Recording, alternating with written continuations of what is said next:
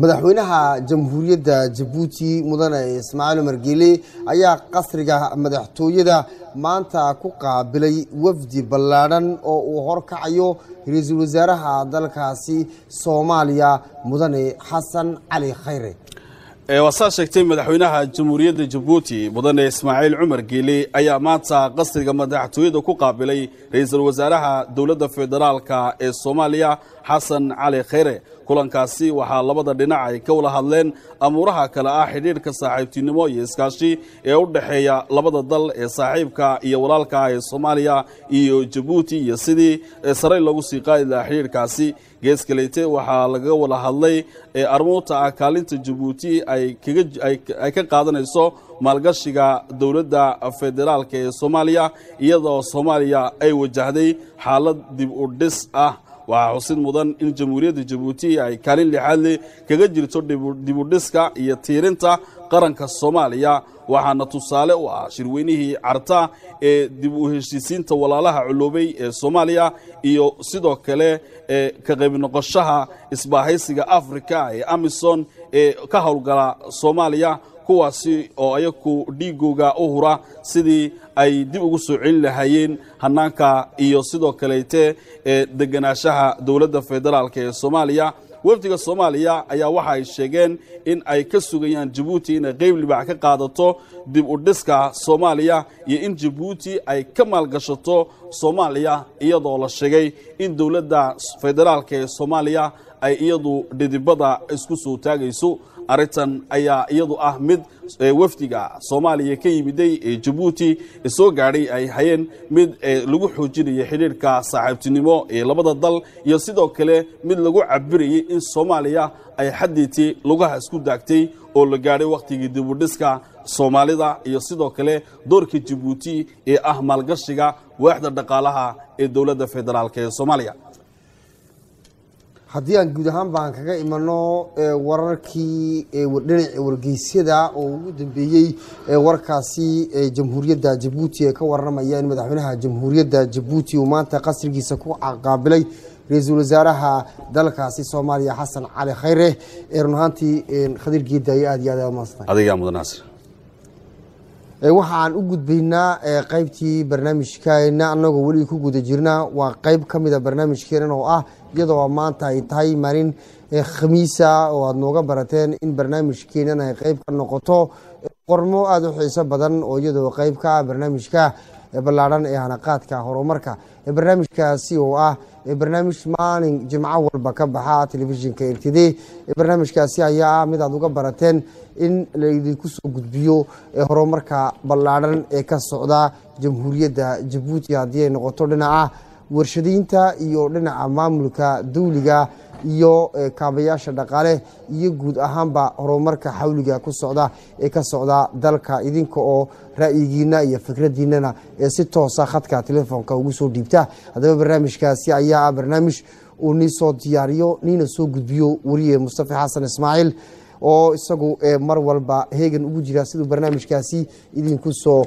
gudbin lahaa. Waxa ay tahay iyada oo jimcihii ugu dambeysay aada barnaamijkii hanaqaadka horumarka aada si toosa ugala socoteen telefishinka d. Barnaamijkaasi oo isagoo ka waramayey ee duufaantii baaqatay ee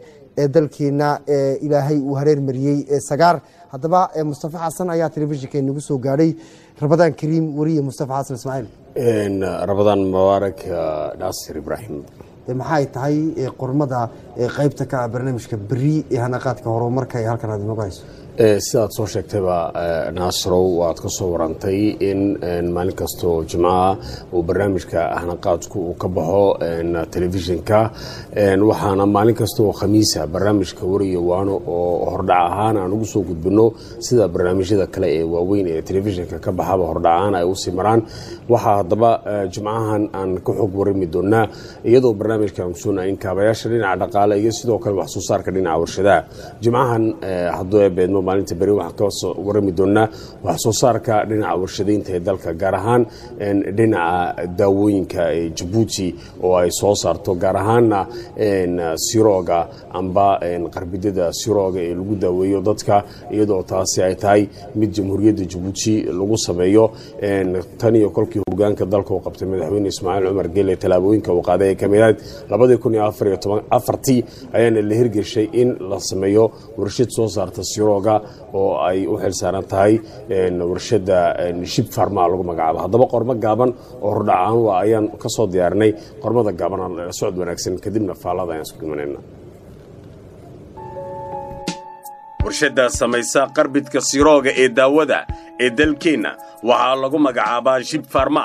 waxayna hoos timaadaa sanduuqa qaran ee daryeelka bulshada ee c n s s.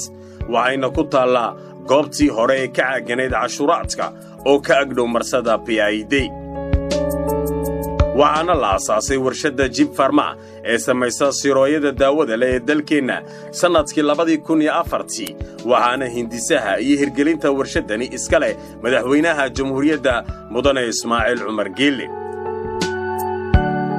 warshadda samaysa qarbidada sirooyada daawada ee dalkeenna ayaa iyadu soo saarta qaybo kala gedisan oo ah nuucyada sirooyada lagu daaweeyo bukaanka sida gligooska ransheer lagtayd oodeg dialiisa waxayna saacaddii soo saartaa warshadda jibfarma ee dalkeenna in ka badan siddeed boqol oo qarbid oo siro ah. Qarbidadaasi ayaana ah shan boqol oo mililitir warshadda jibfarma ee samaysa sirooga. Ayaa iyadu maalintii soo saarta in ka badan toban kun oo qarbidada sirooga waxayna sirooyadaasi ay samayso warshadda jibfarma u qaybisaa gebiyahaanba goobaha caafimaad ee ku yaalla dalka oo dhan. Waxay tan iyo wakhtigii la hirgashay warshaddaasi ay iyadu tahay mid daboosha gebiyahaanba baahida dhinaca sirooyada ee dalkeenna waa hagaag waa qormadaasi hordhaca waa barnaamijka hanaqaadka horumarka ee jib farma. Haye mustafa. Naasrow siaan la soconaba qormadaasi hordhaca waa mid iyadu ku xog waramaysay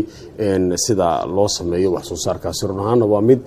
waxaa xusid mudan in wax soo saarka sirooyadaasi ay tahay mid ay wada gaadhsiy gebiyahaanba goobaha caafimaad ee dalka oo dhan. Hadday noqoto kuwa caasimada ku yaalla iyo goobaha fogfog ee xarumaha caafimaad ee dalka. Hadduu beedmo maalinta berri waxaan halkan uga fadhinaa in agaasimaha jib farma uu halkan yimaado oo macno ballaaran uu ka bixiyo. Dadkuna ay khadka telefoonka ay ka soo qayb qaataan oo wixii talo iyo tusaaleaba ay soo bandhigaan nasro waa hagaag. Haddaba waxa ay tahay maalinta berri ayaad kaga boganaysaan. Warshadaasi jib farma iyo waxa ay soo saarto aad iyo aad ayaad u mahadsan tahay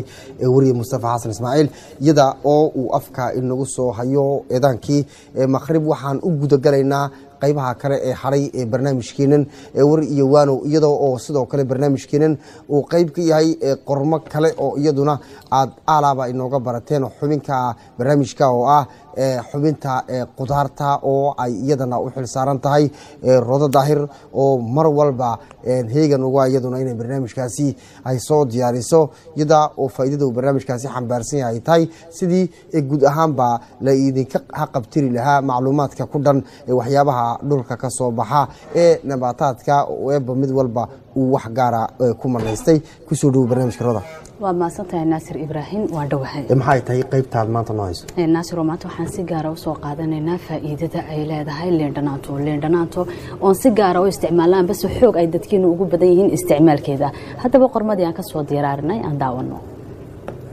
qormadeenna maanta waxaan ku soo qaadanaynaa oon kaga hadlaynaa waxtarka caafimaad ay leedahay geedkan leendhanaantu geedkani waxay aadamuhu bilaabeen beerashadiisa ka hor qarnigii nebi ciise calayhi salaam ayagoo u isticmaali jiray siyaabooyin badan daweyn iyo cunisba. Geedkan leendhanaantan ayaa ah mid faa'iidadiisa aan la soo koobi karayn balse waxaan ka hadlaynaa waxtarka caafimaad uu inoo soo gudbinayo. Haddaba geedkan leendhanaanta ayay dadku aad u isticmaalaan ayagoo siyaabooyin kala duwan u isticmaalaya. Ugu horeynba liindhanaantu waxay ilaalisaa caafimaadka jidhka. Sidoo kale liindhanaanta oo biyo lagu tuujiyo waxay caawisaa caafimaadka wadnaha iyo caloosha waxayna dhistaa oo ay u roon tahay lafaha. Liindhanaantu waxay nadiifisaa dhiigga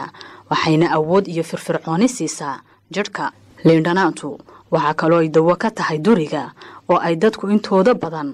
u isticmaalaan ayagoo weliba ku darsanaya toon. Liindhanaantu waxay wax u tartaa dhiikarka sababtoo ah biyaha liindhanaanta waxaa laga helaa faa'iidooyin fara badan oo caafimaadka u fiican liindhanaantu waxay qani ku tahay fitamiin c. Sidoo kale biyaha liindhanaanta laga tuujiyo waxay wanaajisaa caafimaadka beerka. Waxay wax ka tartaa xanuunka kansarka sidoo kale waxay hagaajisaa nadaafadda ilkaha waxayna hoos u dhigtaa miisaanka. Guud ahaanba geedkan liindhanaantu waxay leedahay faa'iidooyin badan aan la soo koobi karayn. Ee gebi ahaanteenba waxaan isku baraarujinaynaa sidii aan uga faa'iidaysan lahayn waxtarka caafimaad ay noo soo gudbinayso hagaag waxbintaasi ka waramaysa liindhanaanta hayrooda naasir oosaanu la soo soconayba leendhanaata ayaa faa'iidooyin caafimaad inoo xambaarsan. Mid kastaba ayadoo geed haddii ay noqoto ambase haddii ay noqoto xawaashka mid kastaba waa nimcooyinka eeba inoogu deeqay faa'iido gaargooniyan uu iska xambaarsan yahay haddaba leendhanaanto ayaa waxtarkeeda la soo koobi kabarin faa'iido caafimaadna inoo xambaarsan. Muhiimna inaan ka faa'iidaysano markastoo aan isticmaalino leendhanaanta waxtarka ay noo xambaarsan tahay aanan ku dadaalno inaan ka faa'iidaysano sidii aan uga faa'iidaysan lahayn inaan ku dadaalno haddaba intaas ayaan ku soo xidhaynaa maanta qaybtii leendhanaantii faa'iidadeeda. Waa hagaag gebi ahaanba xubintaasi ayaa ugu dambeysay. Rodo daahir waan kaaga mahad celinaynaa ka qayb qaadashada barnaamijka. Annagoo gebi ahaanba u mahad celinayna farsamo yaqaanada iyo sidoo kale wariyaasha sida ballaaran inoogala qayb qaatay habsamo bixidda barnaamijka. Wariyawaanu tan iyo maalinta beri tanidhaade tan iyo intaan maalinta xadda barnaamijkani. Barnaamij lamida aan ku kulmi doono gebi ahaantiin waxaan idinkaga tegaynaa rabadaan mubaarak fasax wanaagsan iyo eebaweyne inuuna gebi ahaanba bisha barakaysan ee ramadaan